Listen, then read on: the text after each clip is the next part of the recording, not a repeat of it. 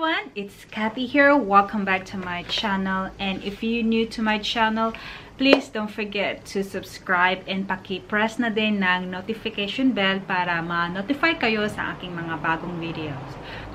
And for this video, share ko po yung aking experience sa pag-receive ko ng aking Google AdSense at bakit hindi ako ang nagbukas ng aking Google AdSense. So, stick with me and I will tell you why.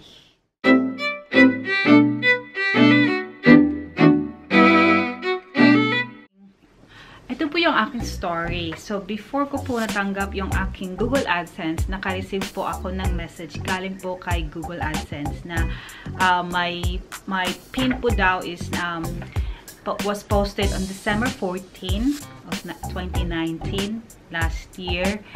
So, ayun, nag-antay po ako and, and sabi po doon 2 to 4 weeks po bago ma-receive ko yung aking pin. So, I, I expect kasi dito po ako sa Australia that it only maybe mga 5 days lang siguro ma-receive ko yun. But sad to say, it took me like more than 3 weeks. Mga January um, thir yeah, January 13 ko po na-receive yung aking Google AdSense. So, siguro na it took a while, siguro by that time kasi ano po siya ay um, Christmas season, peak season kasi uh, dito kasi sa Australia pag ganun time, uh, ang daming mga uh, busy po yung post office kasi daming nag-order online, mga gifts na pinapadala. Kaya siguro ganun, siguro, kaya siguro ganun katagal bago ko na-receive yung aking Google AdSense. So, mga 3, more than 3 weeks.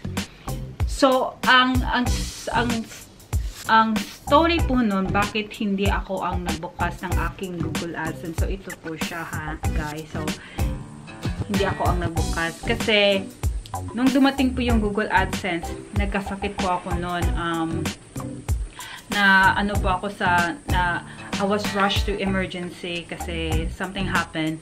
Tapos, nung nasa hospital po ako, um, the nurse, nurse nung, nung kumuha ng aking um, blood sample, thrice po dito sa kamay ko at napakasakit. Um, until until now I can still feel a little bit of pain mga ano na ngayon 3 weeks na I can still para the the nurse butchered according to my husband butchered my my hand kasi 3 times siya kumuha ng aking blood sample hindi niya makuha yung dugo tapos talagang inaganaganon niya tapos kaya ayun I was so really in pain tapos nung dumating na yung pin ko talagang wala akong lakas na magbukas. Talagang wala.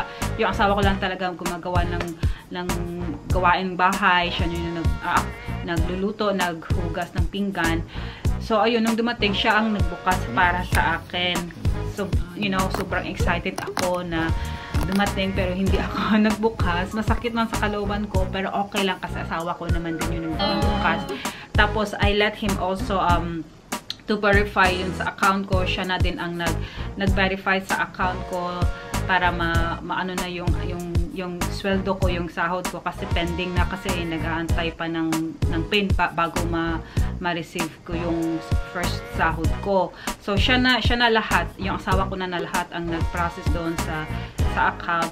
Tapos, nung once na na-verify na, na, verify ko na yung, yung, yung PIN number ko, um, so, nag-antay po ako ng ilang days bago ko na-receive yung first pay ko. So, at this time na po, um, na-receive ko na din po yung aking second pay. Bali, hindi ko po sasabihin yung uh, account kung how much yung na, na, na-receive kong sahod. Bali, ano na lang yun, confidential. Hindi po siya malaki, pero at least naka-reach po ako ng threshold sa YouTube na at maka-income, na, na ma-receive ko yung, yung salary mo. Bali, sa 2 months, um, um, sin, bali na, nasa account ko lang, bali, bali ano yan, savings ko lang muna yun. So, hindi ko lang muna gagamitin yun. At saka, um, ang, ang tips ko din doon po doon sa yung like me na after na monetize na na bumaba yung views, uh, just keep uploading. Like me, um, wag, wag kayo mawala ng pag-asa. As long as you love, love what you do, just keep uploading. Because you never know, again, one of your videos will become viral again. So, wag kayo mawala ng pag-asa. Upload lang upload. Doesn't matter kapag kahit maliit man yung views, just just keep uploading. Um, but siguro i-improve na lang siguro yung mga ano kung ano yung content mo. So, yun, yun din ang ginagawa ko ngayon. Uh, naghahanap ako ng content. So, siguro dito ako nagkakamali. So, uh, ayun, uh, hanap ka lang na siguro ito siguro yung papatok next time.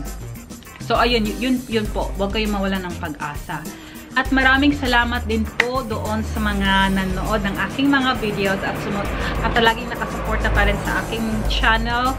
Maraming salamat po dahil po, dahil po sa inyo na monetize po yung aking channel unexpectedly. Hindi ko talaga in-expect na monetize siya kasi talagang napakababa before and then dahil lang sa isang video talagang doon doon ako na monetize maraming maraming salamat po sa inyong lahat at sana po ma maasahan ko pa rin kayo, patuloy pa rin po kayo manonood ng aking mga videos dahil um, ito po yung gusto ko rin gawin kasi dati mahihain ako. Ngayon, uh, medyo nang dahil dito sa YouTube, parang na-express ko yung sarili ko na, na medyo nawala na yung kaunti yung pagkamahihain ko.